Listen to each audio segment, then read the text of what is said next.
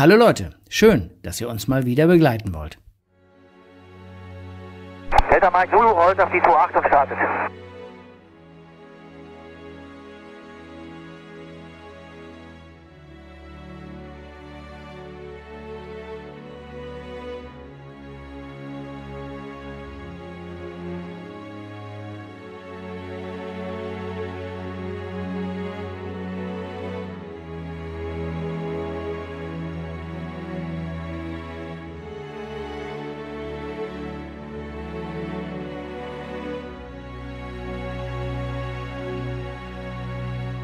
Wir sind mal wieder in der Luft. Außerplanmäßig sozusagen, denn Urlaubstage sind bekanntlich begrenzt. Und so sind wir, mein Freund Burkhard und ich, heute nur zu zweit unterwegs. Die Wetterpropheten versprechen uns drei bis vier Tage schönes Wetter in Nordfrankreich. Und das ist die Gelegenheit, zwei Stationen in der Bretagne zu besuchen, die in 2022 leider hinten runtergefallen sind. Das ist einmal die Stadt Saint-Malo und zum anderen die Insel Ouessant. Damals mussten wir aufgrund einer militärischen Übung den westlichsten Bereich der Bretagne enttäuschenderweise meiden. Das wollen wir nun nachholen. Dachten wir zumindest. Nun ja, es sollte mal wieder anders kommen. Doch dazu später mehr. Den damaligen Flug genau in dieser Region von La Rochelle nach Lannion habe ich hier noch einmal verlinkt. So ist also die eine in 2022 verpasste Chance also die Stadt Saint-Malo. Auch hier war ich früher schon mal mit dem Wohnmobil aber dass Saint-Malo eine solch überragend schöne Altstadt hat, das wusste ich nicht. Also setzen wir Burkhards Idee um und fliegen in die bedeutendste Hafenstadt an der bretonischen Nordküste, die wir letztes Jahr nur von weitem gesehen hatten. Die Stadt ist aufgrund ihres originalgetreu wieder aufgebauten historischen Stadtkerns sowie ihrer Festungsanlagen eine der meistbesuchten Städte Frankreichs.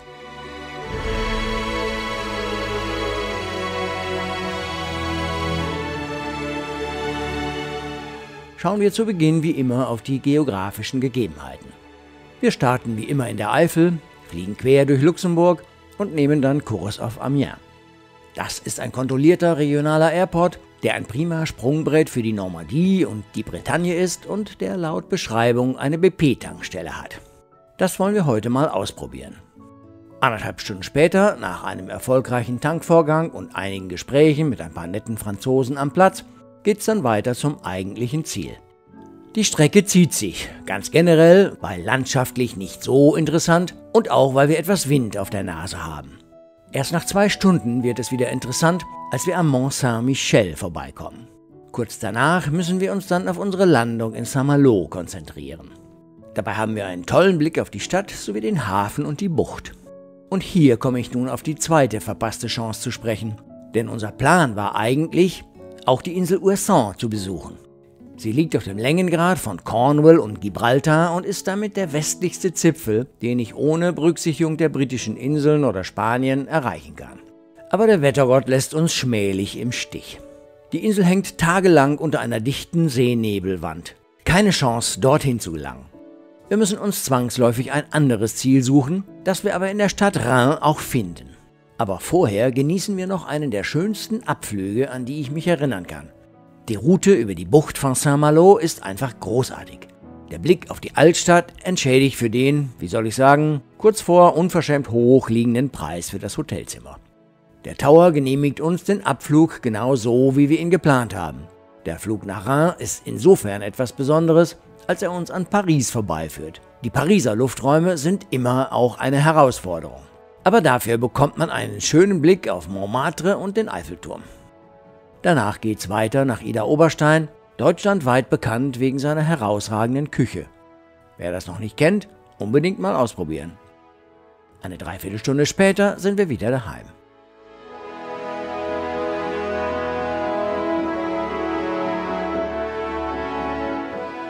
Romeo 132 is not exist today. They, they go as Langeninformation, guten Morgen. Delta Mike Echo Mike Zulu.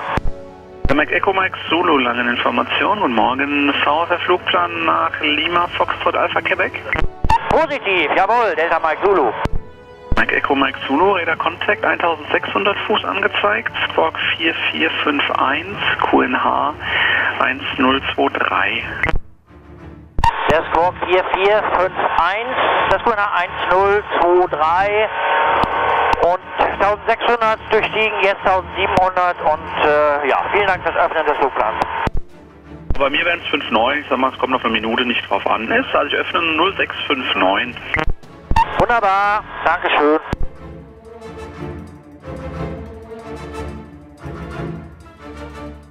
Paris Information, good morning. Delta Mike Echo Mike Zulu.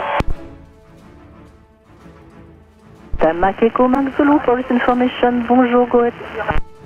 Delta Mike Echo Mike Zulu, type of aircraft is Foxtrot Delta Charlie Tango. Two people, VFR with flight plan from Echo Delta Romeo Echo to Lima Foxtrot Alpha Quebec. Current position is 10 miles uh, west of Lima Foxtrot Golf Sierra in 4,500 feet. For flight information, please. Pierre, je vous rappelle. Mac Zulu, copy de Scook 7020. Delta Mike Echo Mike Zulu, Squawk 7020. Delta Mike Echo Mike Zulu, I didn't understand. Can you change into English?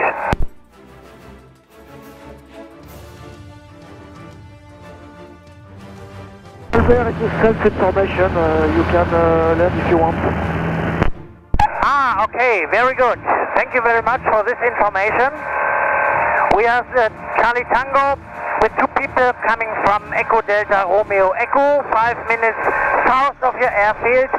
Next report, Sierra Alpha.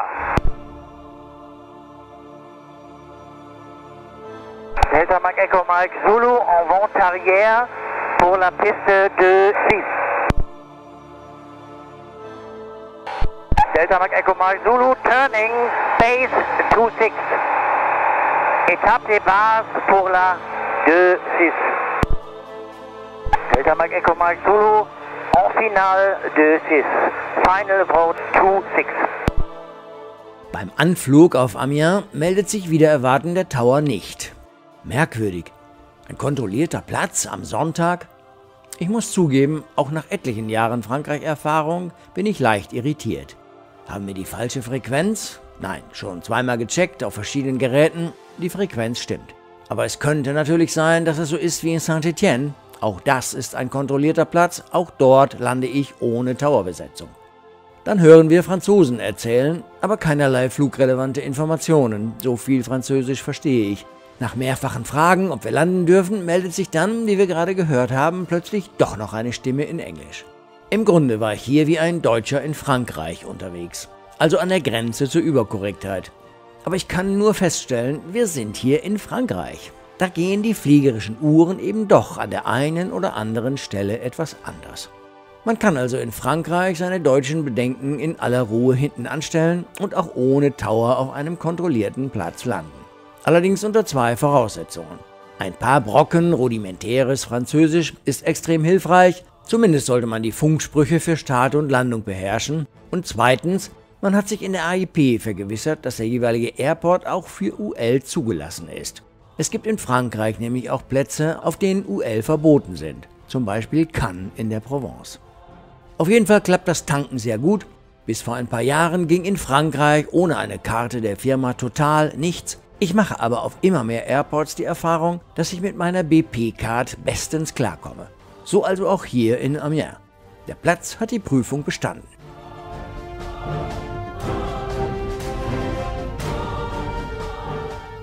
Altea Airport, Delta Mike Echo Mike Zulu, taxi from the fuel station to the taxi holding point Bravo runway 08.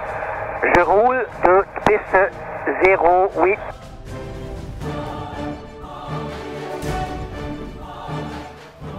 Gucken, da kommt nichts, da hinten kommt auch nichts. Ich höre nichts. Delta Mike Echo Mike Zulu, take off, runway 06, Décollage, zéro, oui.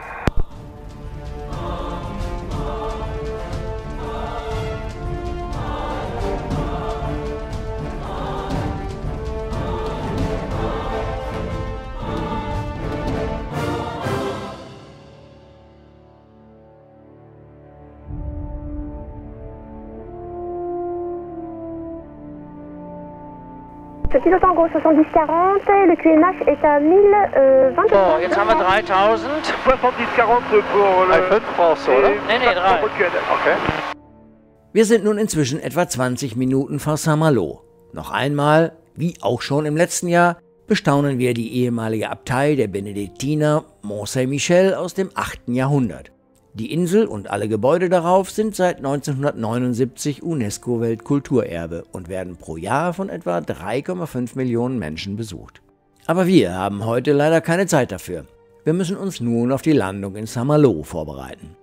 Ich habe hier im Video jetzt den kompletten Funkverkehr für den gesamten Anflug sowie die Landung ungekürzt belassen. Nur die Sprechpausen habe ich entfernt. Delta Mike Echo Mike Zulu, request, uh, we have um, 10 minutes uh, left to Saint-Malo. Should we change to Saint-Malo's tower? will be Dinar Tower, Delta Mike Zulu, and I call you back shortly. Yes, to switch with them, but I call you back. It will be the frequency 120 decimal 150. Stay with me for the time I get all the traffic, perhaps. Delta Mike Zulu, roger. Delta Mike Zulu, Delta Mike Zulu, go. You can contact Dinar, frequency 120 decimal 150. Bye-bye. Okay, we'll contact tower 120 decimal 150. Thank you. Bye bye. Falsch. Genau.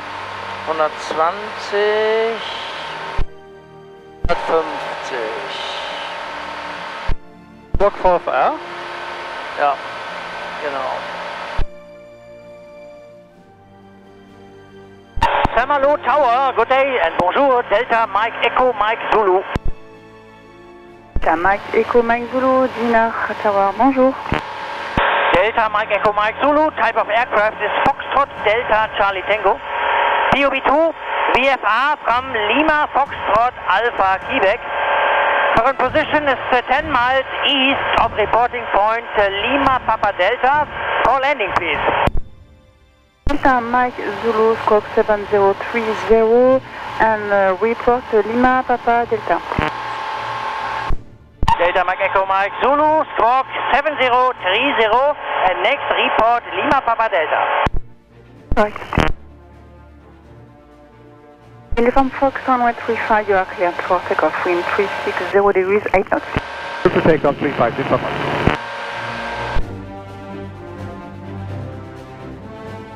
So stelle ich mir das ja auch eigentlich vor, ne? Kann man schon mal aufatmen, genau. Das ist ein Kreuzfahrtschiff, genau. Ja. mal, Wo ist denn das? Ach, ja. ein Hafen. Machen wir uns nun mit dem Anflug vertraut. Am besten mit der VFR-Anflugkarte. Hier etwa befinden wir uns derzeit. Die rot gestrichelte Linie ist die Kontrollzone. Die Freigabe für den Anflug auf den Pflichtmeldepunkt Lima Papa Delta haben wir ja bereits erhalten. Wir setzen also den Anflug auf Lima Papa Delta fort. Und wie wir jetzt gleich sehen werden, geht es danach mit dem Standard-Anflugverfahren für die Rechtsplatzrunde auf die Piste 3.5 weiter. Das heißt, rechter Gegenanflug, rechter Queranflug und schließlich Endanflug. Ein Blick auf das Airport-Chart zeigt, wo wir höchstwahrscheinlich parken müssen, nämlich genau hier. Der nächstgelegene Taxiway liegt also kurz hinter der Intersection der Piste 3.0. Das wiederum heißt, ich werde kurz vor dem Kreuzungspunkt der beiden Pisten aufsetzen. Ich schaue mir neue Flugplätze vorher immer auch bei Google Earth an. Oft bekommt man zusätzliche Hinweise, selbst wenn die Aufnahmen nicht aktuell sind. In diesem Fall erkennt man, dass die Parkfläche für die allgemeine Luftfahrt sehr wahrscheinlich eine Grasfläche in unmittelbarer Nähe zum Tower ist. Und der Eingang scheint genau hier zu sein.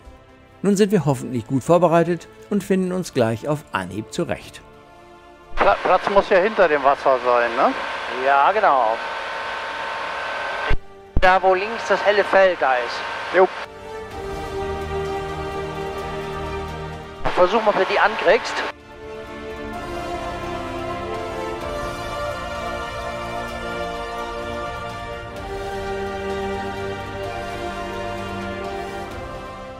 Auf. So, wunderbar.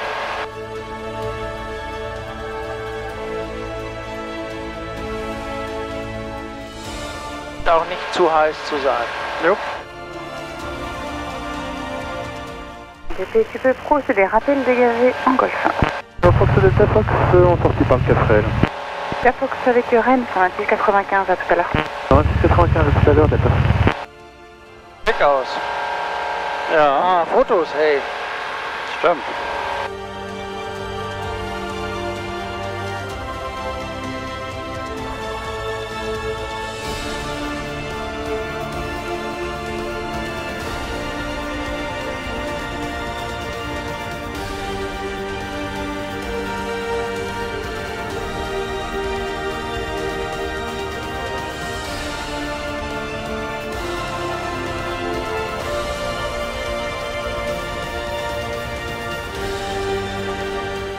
So Uniform Fox identified, you can uh, proceed as cleared uh, with Rennes 126950. Have a good flight.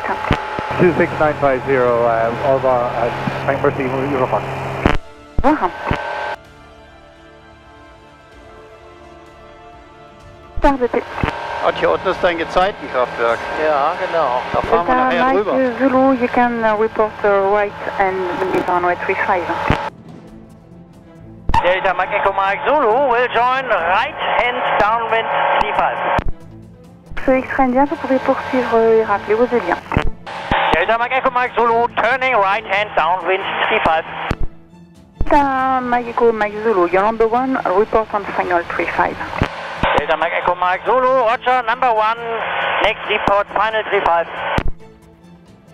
Ah, so stelle ich mir das vor. Das ist wunderbar.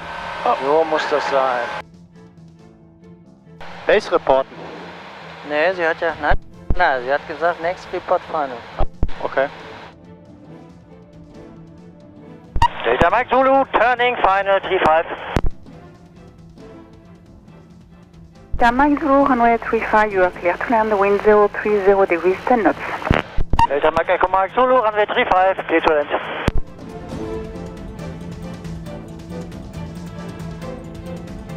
Klappen noch? Ja.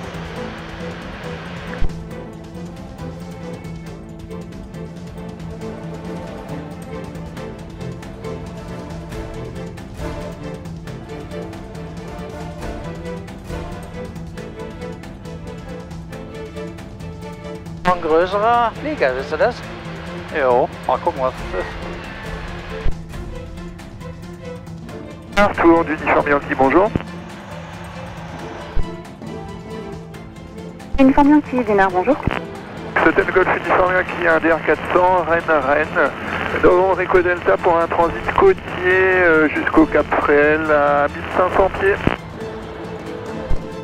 Uniforme euh, Yankee reçu 7030 pour le transpondeur QNH 1023. Le transit est approuvé, rappelé au Cafrel. Uniforme Yankee, donc le transit est approuvé 1023 1500 pieds, je rappelle au Cap Fréhel. Salut Karine. Xavier.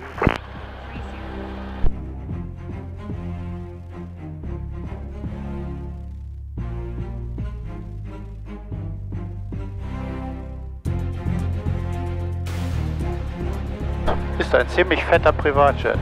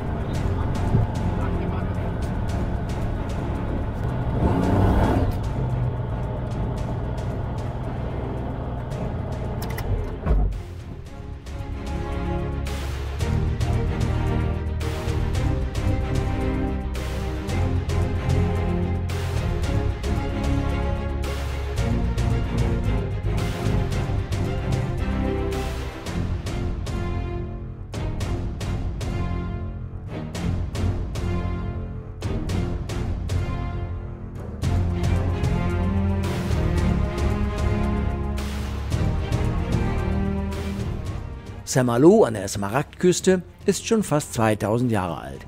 Im 12. Jahrhundert entsteht aus dem bestehenden römischen Hafen so etwas wie eine Stadt. Sie war einst eine Hochburg für Freibeuter, eine Art vom König höchstpersönlich gebilligtes Piratennest. 1944 wurde Saint-Malo von einer deutschen Garnison besetzt, später von den Alliierten bombardiert und zum größten Teil zerstört. Die Festung wurde schwer beschädigt und alle Unterkünfte des Forts dem Erdboden gleichgemacht. Doch inzwischen ist das ursprüngliche Stadtbild nahezu vollständig wiederhergestellt.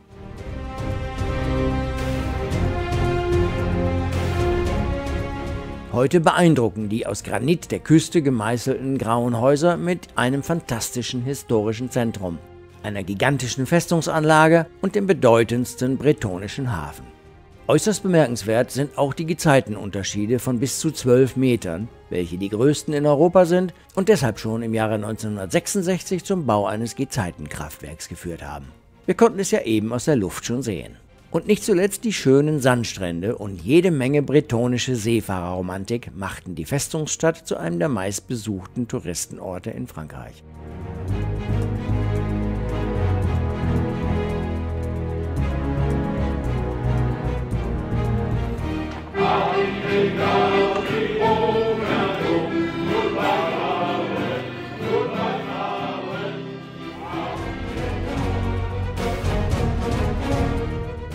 Erster Stop gehört dem La Place Chateaubriand. Das klingt wie ein guter Wein, nicht wahr? Und genauso fühlt es sich auch an. Ein belebter Platz mit typisch französischem Flair. Hier reihen sich Bars, Restaurants und Hotels aneinander. Die einzige Qual, die wir im Moment verspüren, ist die Qual der Wahl. Wo setzen wir uns denn nun zuerst hin? Ein echtes Highlight sind die Stadtmauern von Saint-Malo. Man kann etwa zwei Kilometer auf der alten Stadtmauer entlang gehen und dabei viele weitere spannende Sehenswürdigkeiten bestaunen. Westlich der Altstadt, am Fuße der Stadtmauer, gelangt man an den Strand Bon Secours mit seinen Freizeitangeboten. Im Moment herrscht Flut, da sind die beiden Inseln Petit B und Grand B nur noch schwimmend zu erreichen. Bei Ebbe jedoch trocknet der Sand bis zu den Inseln komplett ab. Wir lassen uns in einem der gut besetzten Bistros zu einem Getränk nieder und genießen eine Zeit lang den Blick in den Sonnenuntergang über dem Atlantik und das touristische Treiben um uns herum. Das Fort National die große Festungsanlage aus dem 17. Jahrhundert, die hier gerade von der Flut umspült wird, war früher ein Schutz vor allem gegen die Briten. Der Höhepunkt unseres Rundgangs ist auf jeden Fall der Chemin de Ronde, der Wehrgang auf dem Befestigungswall. Auf diesen Mauern standen einst die Wachen der Stadt und hielten Ausschau nach feindlichen Schiffen. Hier ist es in jeder Bar, in jedem Bistro gleich einladend. Und es fällt uns schwer zu entscheiden, wo wir den nun nahenden Sonnenuntergang am liebsten genießen wollen. Wir tingeln also von einem Bistro zum nächsten und genießen den Abend, wie man so schön sagt, wie Gott in Frankreich.